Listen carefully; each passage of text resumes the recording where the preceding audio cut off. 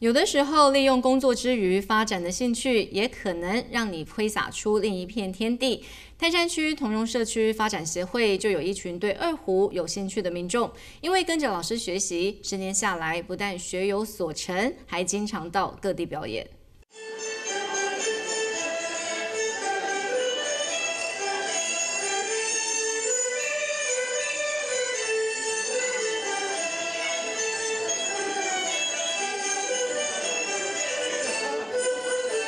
台上表演的二胡乐团听起来相当专业，他们都是来自泰山区同龙社区发展协会的成员。当初因为一个小插曲，意外成立了这个风雅颂乐团。我这这个音乐是一窍不通，后来啊，是帮先生买一把胡琴，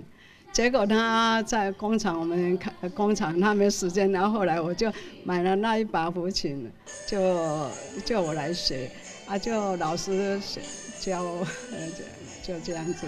其他的成员也都是后来才学的。四龙工商的都一起一起来学的，是似乎那个大家都有家庭事业在做的。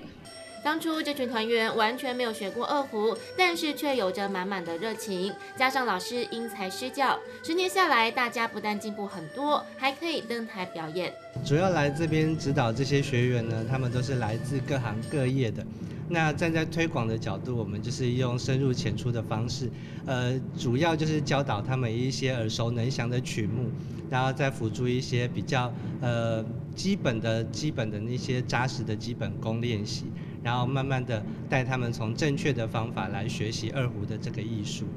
从原本只是想学习一样乐器，到后来正式成立了二胡乐团，甚至应邀到各地表演，这样的变化都是团员们始料未及，但是却丰富了他们的生活。